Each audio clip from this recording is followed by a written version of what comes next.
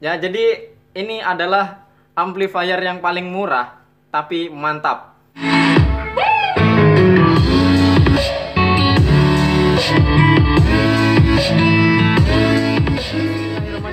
Assalamualaikum warahmatullahi wabarakatuh. Halo kawan-kawan YouTube, masih dengan saya teknisi amatir. Halo kawan-kawan. Jadi pada video kali ini ya, kita akan coba tes kit PAM 8610 teman-teman ya dengan MP3 player. Nah, ini di sebelah saya ini sudah ada kitnya PAM 8610 dan MP3 player teman-teman ya. Kita akan tes dengan ini speaker dari speaker aktif. Terus yang ini ada speaker di speaker 12 in di box planar ya. Nah, ini. Nah, kita akan tes dengan ini teman-teman ya. Oke, sebelum kita tes jangan lupa like, share, komen dan subscribe, nyalakan juga lonceng notifikasinya biar teman-teman gak ketinggalan video-video menarik seputar elektronika di channel saya. Oke, langsung aja kita tes teman-teman ya. Nah, oke teman-teman, sebelum kita tes, saya lupa Mungkin teman-teman mau ngelihat uh, isi dalamnya ini. Nah, jadi penampakan depannya seperti ini. Ini ada MP3 playernya. Terus ini langsung saya supply 220 volt, teman-teman ya. Kalau kemarin kan saya pakai adaptor. Jadi kita pakai listrik langsung dan ini dia dalamnya. Di sini saya pakai trafo, trafo non CT 1 ampere di 0 dan 12. Nah, terus di sini saya pakai IC regulator, teman-teman.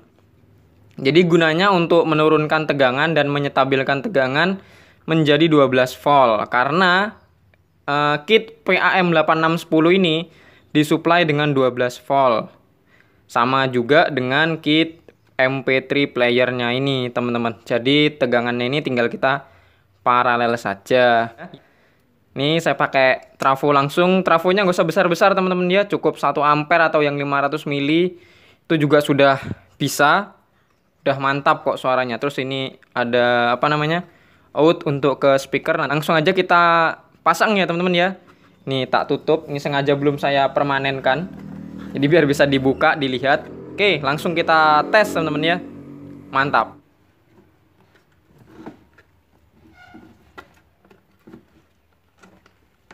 Nah, oke kita langsung pasang ke stop kontak aja, teman-teman ya.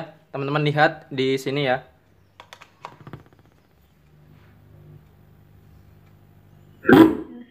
Weh, mantap, bukan main. Ini tak mundurin dikit, jadi kita biar jelas. Saya ambil HP juga. Oke, ini Bluetoothnya tak nyalain. Tinggal nunggu dulu.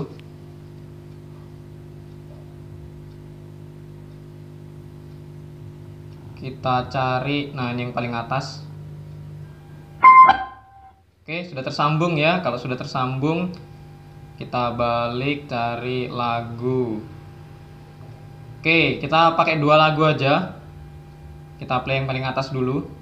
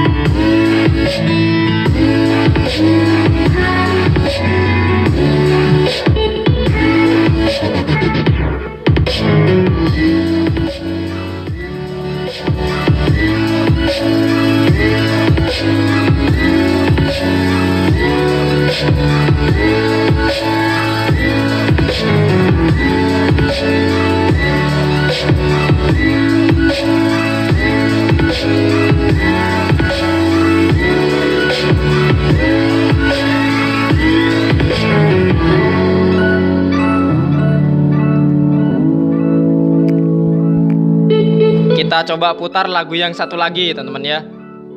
Yang di bawahnya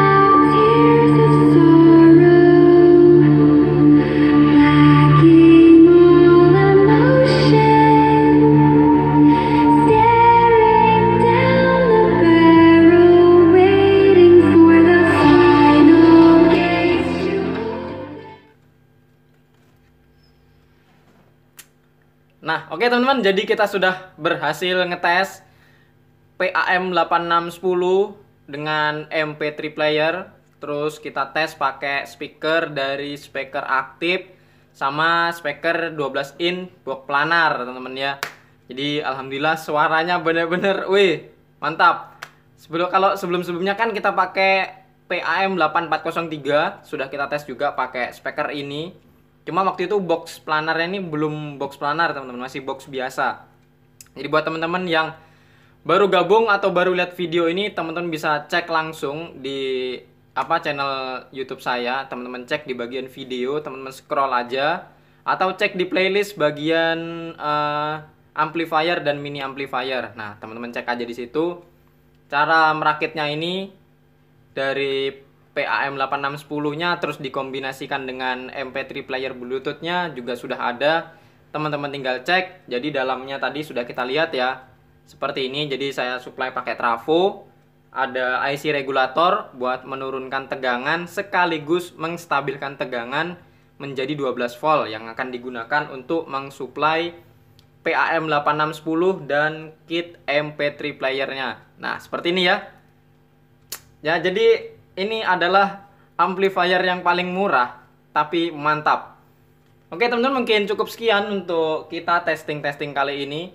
Saya sebenarnya juga lupa, teman-teman, habis saya ngerakit apa? amplifier amplifier apa mini amplifier galon itu sebenarnya mau tes pakai ini. Cuma lupa, teman-teman. Jadi ya nggak apa-apa lah baru kita tes. Oke?